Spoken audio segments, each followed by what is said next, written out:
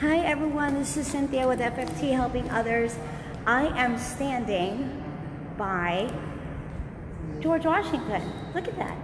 I am actually here and I'm actually here in Richmond. I was actually visiting a couple of our senators in Richmond, but I'm actually standing by George Washington. Do you believe it? This is a life size um, representation of him. It actually is. It actually looks like him. It actually is him.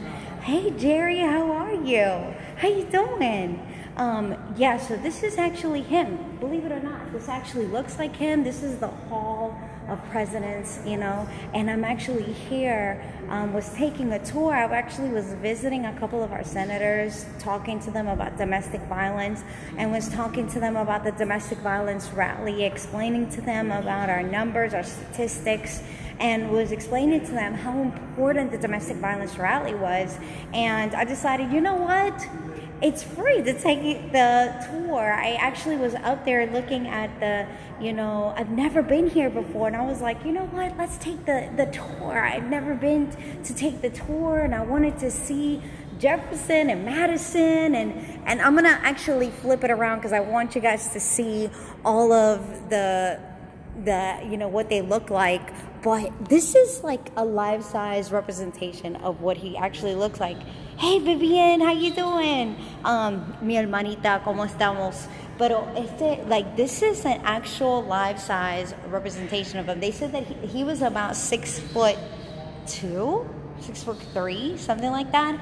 But I actually decided, I'm like, you know what? Let me just go ahead and come here. If you guys ever come to Richmond, I want you guys to come and take the tour of hey how are you hottie how you doing? How you how you guys doing? You know what? I miss you guys so much I it was amazing to actually go and visit some of the legislative assistants, talk to them, and talk to them how important. Hey, Michelle, how are you? Um, talk to them how important it is about the domestic violence and how important it is and how our issues are and how important it is what we're talking about, how, what we're doing, and how important it is that you guys are all coming from different states. I know that you guys are going to be like ushering in, and, and you guys are all going to be coming from like Georgia and you know Pennsylvania and Maryland and Florida and Texas and you know, and how you guys are, are wanting to talk about domestic violence. And, you know, I wanted to talk to them about our statistics and, you know, how we want to be able to have a voice. But guess what? George Washington was the first one to have a voice in all of the United States. He wanted to actually be able to fight for us. Did you know that? Like, George Washington was fighting for the whole entire nation.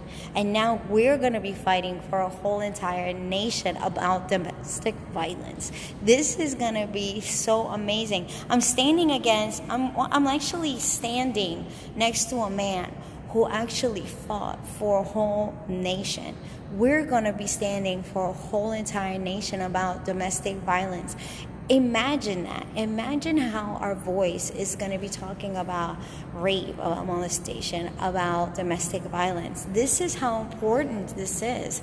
And this man right next to us, right here, this mm-hmm. guy, was talking about domestic violence. And your voice is going to be so loud that everyone can hear us. And I want you guys to imagine how your voice is going to be so important, okay?